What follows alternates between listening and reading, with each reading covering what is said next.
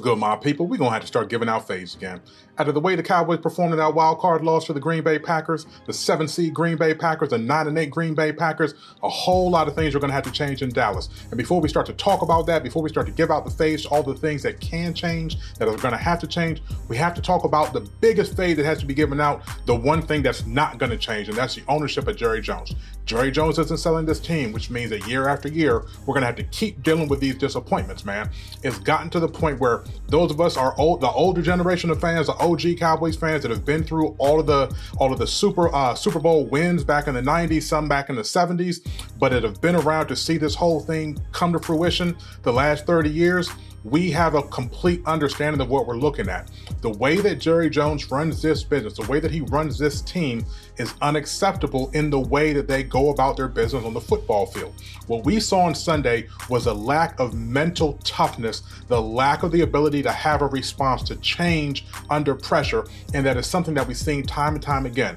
They say that insanity is repeating the same thing over and over again, and that's exactly what the Dallas Cowboys have done under Jerry Jones. It doesn't matter who the head coach is. It is now six head coaches since Jimmy Johnson was uh, was in charge. And I know everybody was hoping, yeah, they put him in the ring of honor, it's going to lift the curse. Nope. That didn't happen. What did happen was we saw another head coach, another brand of head coach fail when it came down to the time to take this team to the next level. We've seen these veteran head coaches that have Super Bowl wins uh, under their belt. Bill Parcells, uh, Mike McCarthy, they haven't been able to do it. We've seen coordinators who had no business running the team in Chan Gailey and Dave Campo. We've seen the golden child, Jason Garrett. We've seen uh, retread coaches like Wade Phillips. None of it has worked. And the one underlying factor to all of it is the culture that Jerry Jones brings to this team, the way he runs the organization. Now, we've heard players that have left Dallas talk about it Chidobe Awuzie, Cole Beasley, and okay, yeah, they might be disgruntled, but what do they say? Every time they leave Dallas, the issue is they that they talk about is the culture and the way that things are done in the Star and in Cowboys headquarters. It is not a seriously run organization when it comes to being able to forge the mental fortitude that's necessary. So we can talk about Dak Prescott's shortcomings. We talked about Tony Romo's shortcomings. We can talk about McCarthy and all the coaches that I listed before. The underlying factor is the culture that they work under. Anybody knows in a successful business, the culture is trickled down from the top bottom. If you have very serious leadership, then your middle management knows what to do. They are well organized. They know what to do under pressure. And that goes down to the grunt workers, the worker bees that actually have to go out there and perform. And the Cowboys have not been able to make that happen in the last 28 years, however long it's been. I'm losing track at this point. So the biggest fade before we start to talk about the things that can change and free agency and the draft and trades and all those sorts of things, we have to set the baseline that the problem in Dallas is Jerry Jones. Now, look, we all know that Jerry Jones is going to be the biggest problem, but that's not going to change. So, the next question that's going to come up is what's going to happen in order to make this team a championship team?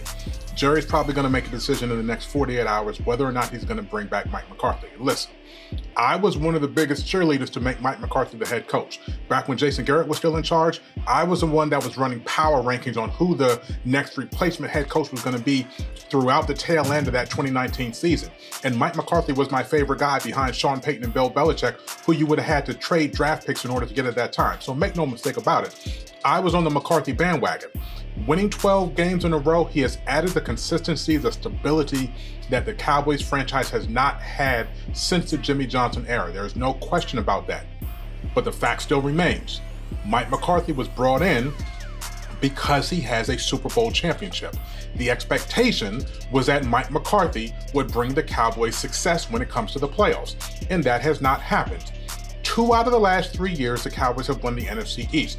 12 win season, 12 win season, 12 win season. Two championships, one wild card game. The only time that they've looked successful in the playoffs was on the road against an 8 9 Tampa Bay team when they retired Tom Brady. And while that performance was spectacular and everything that you could want from the Cowboys, what has happened in the other games has been unacceptable. So actually, I have no problem if the Cowboys decide at this point it's time to move on from Mike McCarthy. There's a lot of options that are floating out there about what the Cowboys should do to replace him, who who they could bring in, whether it needs to be one of these upstart young offensive coaches, whether it needs to be a retread guy like Bill Belichick or Mike Vrabel. I lean towards the Slowik guy, the Slowik offensive coordinator from the Houston Texans, former Kyle Shanahan guy. He has experience on defense. He's shown that he can coordinate the offense. What he did with CJ Stroud in Houston was remarkable in order to start that dude's career. And I am of the opinion that the best way for the Cowboys to make the change and try to catch lightning in the bottle is to get that guy that is so good he can overcome the culture that Jerry Jones brings to this team.